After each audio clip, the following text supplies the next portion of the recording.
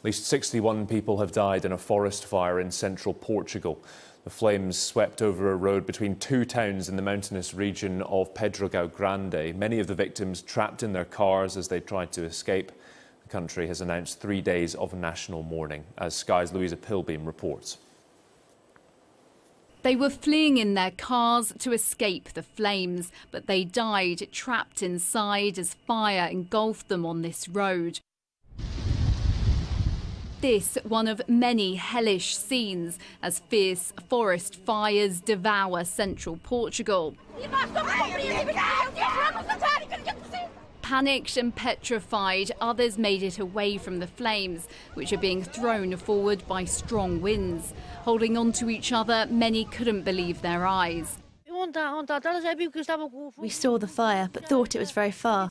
I never thought it would come to this side. At 3:30 a.m., my mother-in-law woke me up quickly, and we didn't go back to sleep. The wildfires, which are still burning, broke out in a mountainous region of the country, 150 miles northeast of Lisbon.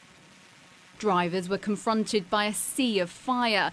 Police did manage to send some motorists back, saving their lives.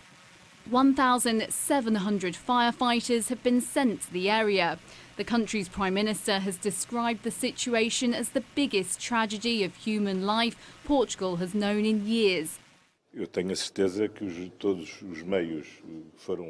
I'm sure that every mean was used and that firefighters and every service involved in the operation gave their best to battle the fire. I don't want to talk yet about the cause of the fire because we are facing the greatest tragedy of human lives, so what we must do now is to calmly provide all the resources to fight the fires. Portugal has battled wildfires before, but this loss of life has not been seen for years.